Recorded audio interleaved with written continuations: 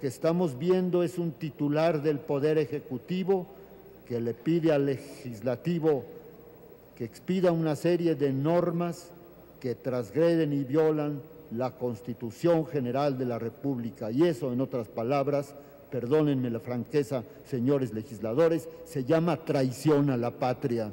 Y quien está haciendo esto podría y debería ser enjuiciado por ese gravísimo delito. El doctor Carrancá, el maestro Carrancá, y esto lo digo con todo respeto, como siempre con eh, sabiduría y conocimiento, ha argumentado por qué él piensa que el presidente debería ser sujeto de una responsabilidad, o podría ser sujeto de una responsabilidad política. Eh, concédame simplemente que toda la hipótesis parte de su visión absolutamente respetable, que las iniciativas son o violentan el texto de la Constitución.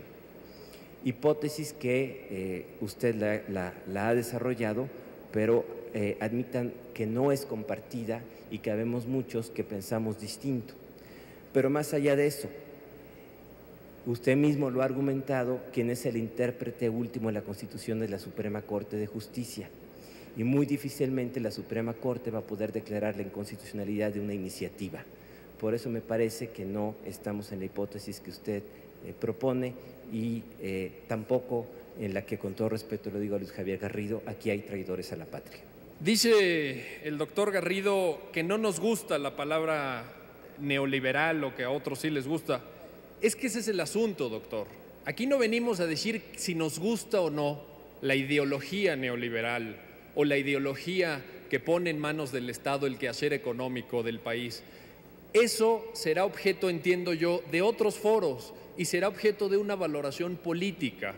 Nos puede gustar o no, a mí le confieso que no me gusta tampoco, pero no vinimos a eso aquí esta mañana. La mejor forma de respetar la Constitución, así lo entiendo yo, es leerla, no asusarla nada más como un fetiche, sino ver sus palabras, comprenderla, desentrañar su significado. Nos ha dicho que todas las iniciativas son inconstitucionales, nos ha dicho que el texto completo viola la Constitución, pero no ha mencionado un solo artículo de ese texto. Uno solo no ha dicho, no ha dicho el artículo primero, el segundo, el quinto. No hemos visto ningún argumento de su parte que confronte un texto concreto, redactado en lenguaje natural, como no puede ser de otra manera, con el texto de la Constitución. A mí me serviría mucho que me ilustrara, yo aprendería mucho de usted si usted fuera capaz de decirme qué artículos de las iniciativas que están en la mesa violan la Constitución y cuáles son los argumentos para sostener ese punto de vista. Rechazo contundentemente, contundentemente, lo dijo ya Sergio, que por tener diferente interpretación constitucional haya en este recinto traidores a la patria. Si así fuera, imagínese qué habría pasado con los autores de todas las leyes y decretos y reglamentos que han sido declarados inconstitucionales por la Suprema Corte. ¿Les tendríamos que abrir proceso penal por el tipo de traición a la patria? Por supuesto que puede haber en un Estado democrático interpretaciones constitucionales divergentes y no por eso somos traidores a la patria. Tenemos opiniones y damos argumentos. Basta ya de condiciones declarativas que no tienen sustento en una norma jurídica y en la ley suprema, la norma de normas que es la Constitución.